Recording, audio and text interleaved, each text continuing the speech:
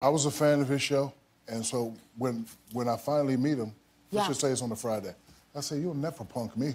Bet a hundred thousand. So he punks me the next day. I was so pissed. Yeah. I was like, I'm gonna kill him. But then when I saw he was married to you, I was like, you oh, know Okay, what? thank God. I'll let him go.